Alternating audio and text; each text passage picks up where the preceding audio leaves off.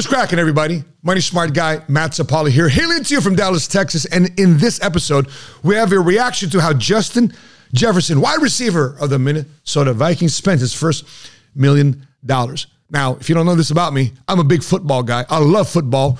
I grew up during the 80s and the 90s where it was the 85 Chicago Bears, as the 84 Chicago Bulls when they drafted Michael Jordan. So I watched basketball and football, and I just watched these legends in Chicago play. And everybody wanted to be a football player. Everybody wanted to be a basketball player.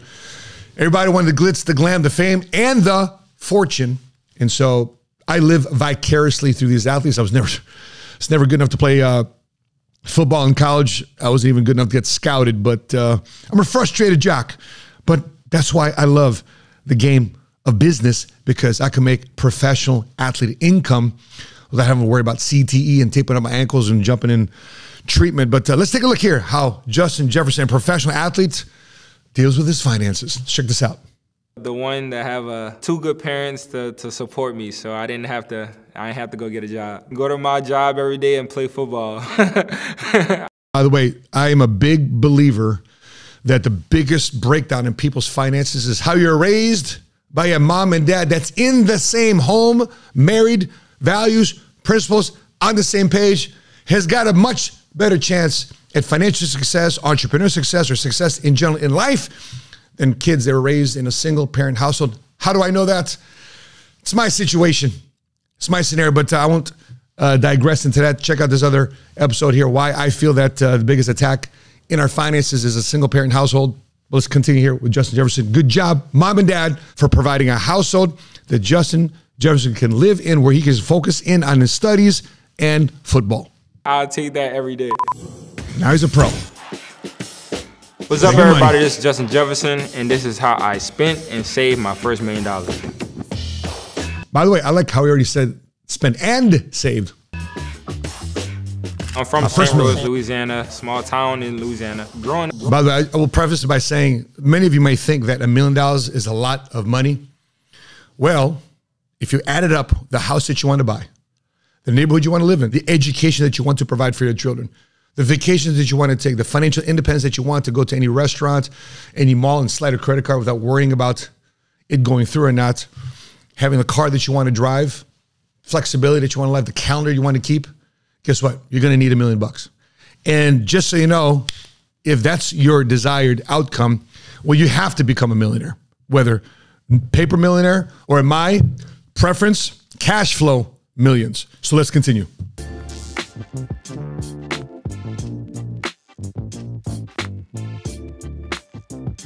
Okay, so here we go. He signed a four year, $13.12 million contract. If you don't know much about pro sports, an NFL contract they're not guaranteed. So the mindset is whatever contract that you see on a NFL pro contract, just think half of that. Half that because you know you got figured in taxes, agent fees, expenses, all this stuff. And most likely, a lot of these rookies will either be cut or signed to another deal. He also received a $7.1 million signing bonus. So, uh, nice contract here for a rookie. 22nd overall pick in the 2020 draft. To go to from a college kid that you know doesn't really ask for much, don't don't really buy much, and then you know have millions of dollars in his bank account. It, it, was crazy. What I'm so grateful for, I have family to, to guide me through all of that. Definitely had to go get a financial advisor, a lawyer. I mean, but I'm not a I'm not a big money spending person, so I know how to handle my money. Being again another benefit of having mom and dad in the house, guide him, coach him, lead him, parent him, counsel in his corner. Obviously, sees the financial blueprint of how mom and dad both handled finances. Big benefit to him also is being raised in a community where he wasn't struggling. Uh, also comes out into the financial blueprint. He wasn't eyeballing this and he didn't eyeball drug dealers or just athletes as successful people in the hood. He looked at mom and dad as heroes. He looked at mom and dad as safety, stability, certainty, so he can focus in on a game of football. So therefore, his programming with money wasn't from the from the area of deep necessity and need where he had to prove himself with his finances because men and women handle finances differently and so the way he's handling his finances is hey, it's just an expression of how he's dealt with focusing in on his game And I want to see a little bit more of his character here as we unravel this video. Being one of the top rookies in the league, you know, you have a lot. Of course, I got to show something here about him playing against the Bears. Of course, I'm a big Chicago Bears guy. Justin Fields, baby. Can't wait for you to take the Bears to the NFL and win this bad boy. Maybe not this year though. Definitely not this year. Smith trying to get as much money as you can off of off of that, so you ain't gotta ever live off the game checks. Okay, we talked about how we made and saved my money. Now let's talk about how I go. spent my money. By the way, I prefer if you started with how we saved. One of the bills you want to pay always, all the time. First thing when you get your paycheck in is pay yourself first. Treat yourself like a bill. Invest in you all the time. I definitely had to get a little bling bling from, you know, I'll say about mm-hmm, 50 on jury. 50,000 I had to get with Leo Frost um, in Houston. He did a lot of guys in, at LSU, and, uh, you know, we just build our con- connection over time. So the million bucks, 5% went to jury. Okay. I am gonna buy one more thing, and then after that, I'm not a big jewelry person. Like I, will buy jewelry. Like I like, I like, you know how it looks, but after a while, I'm not too big on it. I just like the main pieces, you know, get what I gotta get, and I'm out. okay, hey, listen, you made it to the league, made it to the NFL. Have a celebration. If you had a investment or a purchase of just pure splurge and splash, you made it. Respect. Jewelry, 50K. How many y'all anticipating stupid stuff? Put in the comment section below. Are you anticipating some dumb purchases right now, like cars, clothes? What else are you anticipating? Put it in the comment section below as you're watching this live or replay. Especially living in Minnesota from Louisiana, I definitely had to grab some more jackets. Okay, here we go. Clothes, nice jeans and stuff like that. So my brother is a really big fashion. By the way, what's the most expensive pair of jeans or piece of clothing that you ever splurged on, spent on, put in the comment section below. I'm curious as this unravels for those of you watching this, what's the most expensive piece of clothing that you've ever purchased? For me, it was suits. I spent a thousand dollars on a suit. I've now found different sources where I can buy suits. I spend no more than five hundred dollars on suits, custom made, tailored 500 bucks on suits. I'm not spending more than a thousand, two thousand. And some of you guys may think I spend a lot of money on clothes. I don't. As a cash flow millionaire, I'm always looking for ways to look good, but not spend all that coin for suits, for clothes. So uh, he definitely helped me out with some outfits and you know gave me some tips on what look good and what don't look good. I, I have to say I spent about like 20k. I didn't shop that much. Twenty thousand. Like I, I didn't really have like a whole bunch of clothes, man. a whole bunch of shoes. Woo! Obviously, for retail price, let me give you a money smart tip. Where the money smart guy goes to buy clothes, eBay, real deal, Poshmark. Yes, right. I buy Gucci, I buy Louis, I buy all the name brand, but if I can find it because somebody's selling it and I'm buying it secondhand, that's what I'm doing. Very rarely would you ever find me in Gucci. Very rarely would you find me in Louis store. Very rarely would you find me at these uh, top malls and top brand name stores and buying something brand new. If it is, chances are it's a gift. But for myself individually and personally, I'm buying it secondhand. I didn't shop that much growing up. Like I, I, didn't really have like a whole bunch of clothes, a whole bunch of shoes. I just wasn't that type of kid. I mostly played football. I mostly played sports. So as long as I got me some basketball shoes, some football cleats, some gloves, I was good to go. Clothing, 20K. Okay, so so far, 7% of his first million bucks went to jewelry and clothes. In my opinion, you can argue jewelry as an appreciating asset, but definitely clothes a depreciating asset, especially when you know these clothes makers go to all these different places overseas to make the clothes cheaper and they sell it for 2000 3000 markups here in the united states of america. I always like finding ways to get my money working for me. In other words appreciating value versus depreciating value. The reason why people become money smart, people become part of the seven figure squad is because they find ways always to make the money grow for them. Here it is. There's the car. As soon as I figured out I was going to be in the first Of course. Round, I definitely had my eyes on the AMG Mercedes AMG. for a long time. By the way, my first AMG, man, uh, when I got my first AMG, what does AMG stand for? You know, I found out what AMG stands for because when you're rolling this thing top down, calling your boys, what's up, big dog? How you rolling, man? Ah! What? Oh my God! AMG. Hey, well, if you find another definition for AMG, call it corny, whatever case may be. I'm like, oh my God! Because I'm buying and rolling in my dream car. And that was about, uh, wait, hold on, y'all gonna have to give me a second. About 150,000. I like cars. I like fancy cars, foreign cars. I definitely had to cop the Mercedes. I had to. That was a must. Mercedes, 150,000. By the way, side note on buying cars, I've got many different exotic cars to myself, but I always like buying exotic cars used, never new. Money smart tip for you. And then I buy them under my corporation, and then I buy them so I can have tax deductions on my car. Purchase this book, Lower Your Taxes Big Time. My tax advisor, Sandy Botkins, came to talk to our guys many times to talk about ways to use your car as a tax deductible gold mine. Check out this video here on how I spend 25 bucks a month on my Rolls Royce. Let's continue. Of course. I bought a lot of course. shoes.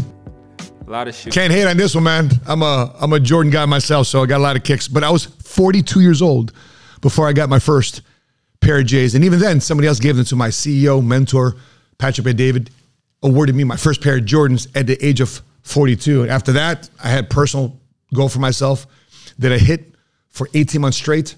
So I got a pair of Jordans, two pairs of Jordans every month. Lot of shoes. The shoes has its own category. You It know? does. I agree. it's, it's just clothes and then it's I shoes. agree. Had to get I the concur. Dior's. I got my bias. must. I had to got like other pairs of Dior's, Balenciagas. I had some new Jordans that came out. I had got a lot of stuff actually. Shoes, 10K. I didn't even spent ten thousand dollars on my J's. But listen, check out this picture here. I got a whole wall of shoes, whole wall of kicks, sneakerhead dreams. Um, I didn't even spend close to this on, on, on shoes. Not at all, man. Um, but I will say this: my favorite pair of J's, 11s or twos. Twos. Why? That's the year he broke his leg. A lot of people know about his, those uh, Jordan twos. Looks like spaceships. Jordan 11. I love it. 'cause That's a Space Jam uh, type of shoe.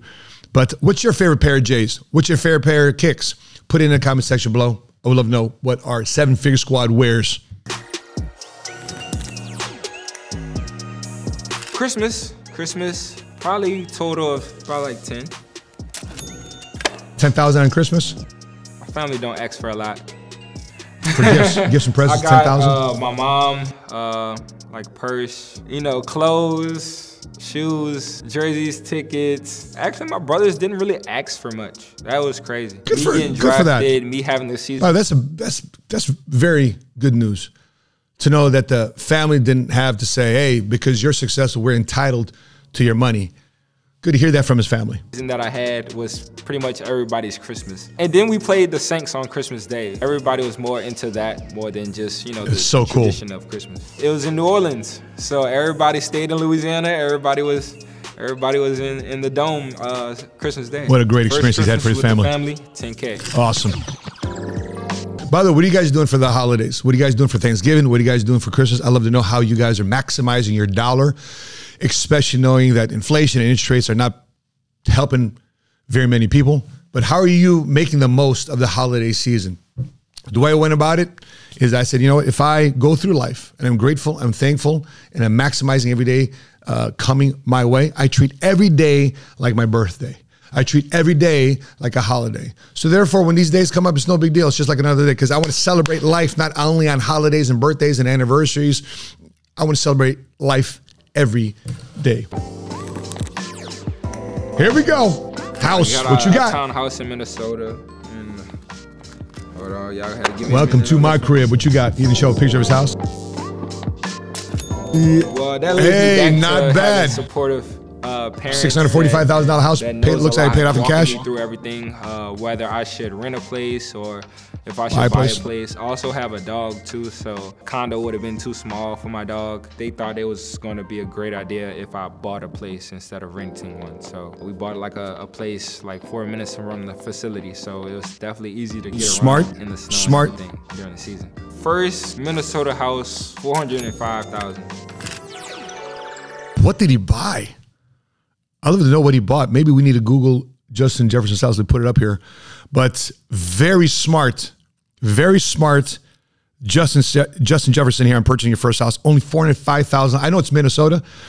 Uh, I don't know what what do you get for four hundred five thousand dollars in Minnesota. Uh, but what I love to hear is that it's only four minutes away from the facility. So I'm a big believer that time is something we can never get back. and the less time that you spent on traffic, just idling, just getting from place to place, in my opinion, is a waste of time.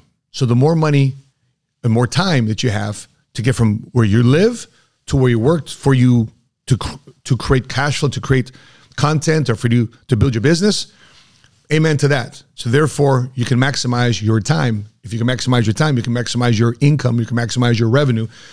Conservative in his purchase. I love the fact that he can buy this house and basically on this budget, I, I think you can have a lot of people look at that house down the road to possibly buy it from you. And who wouldn't want to buy a former professional athlete's home? I bought a former car owned by a uh, uh, NBA player Raymond Felton.